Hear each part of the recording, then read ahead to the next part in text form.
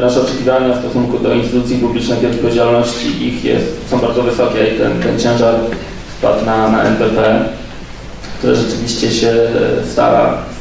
Tutaj nie powiedziała Pani o...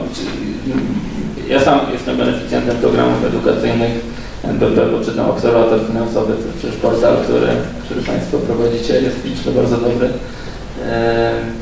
I bardzo społecznie odpowiedzialny, bo płaci za tekst. To nie jest, No właśnie. To nie jest regułą. Może, może też napiszę to w.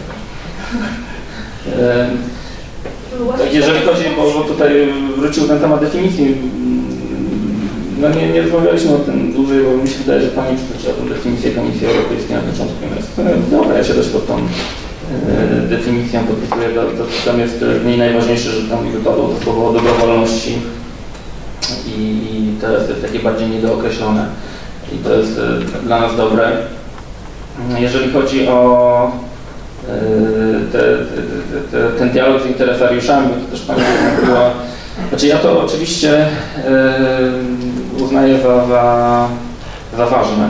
I tylko problem jest taki, że e, obrębie społecznej odpowiedzialności biznesu, które jest ściśle związane oczywiście z, z, z dyskursem w ogóle o gospodarce, ekonomii w Polsce, nie ma zbyt wiele miejsca dla, dla interesariuszy innych niż biznes. To tak jak cały dyskurs o ekonomii w Polsce, gospodarce i kształcie, tak samo dyskurs o społecznej odpowiedzialności biznesu został zawłaszczony przez e, przez, przez korporacje. Tutaj miejsca dla związków zawodowych, e- ekologów, organizacji konsumenckich e, praktycznie nie ma.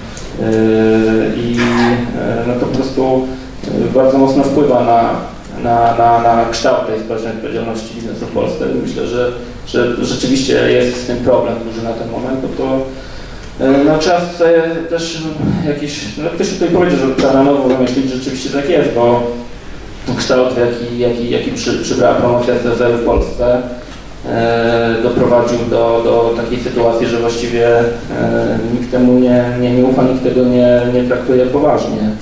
I e, no tak po prostu e, jest. No to, no bo to nie jest pytanie tak, czy, czy no, jak, jak mierzyć rozwój społecznej odpowiedzialności biznesu, tak, no nie wiem, liczbą konferencji organizowanych na, ten- na ten temat, czy, czy uczestników, czy, czy tym, co, co dlatego e, wynika, e, znaczy co, co z tego wynika dla ludzi, prawda? No więc e, tutaj no, ten, ten aspekt trzeba mocno przeanalizować. Jeżeli chodzi o te e, mm,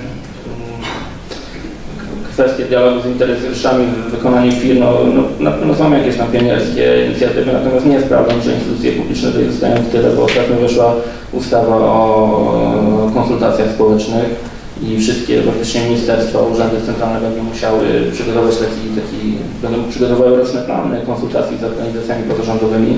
To jest myślę e, bardzo, bardzo ważne i my sami wielokrotnie się odbijamy od ściany, czy to zajmujemy się zamówieniami publicznymi, czy, czy, czy, czy, czy innymi tematami. E, Ciężko jest uzyskać e, nieraz informacje o, o, o pewnych działaniach podejmowanych przez, przez centralne. Jeżeli chodzi o tutaj te, no już może na tym, w tym miejscu się zatrzymam, ale bardzo serdecznie dziękuję za, za zaproszenie, za zorganizowanie tej, tej debaty.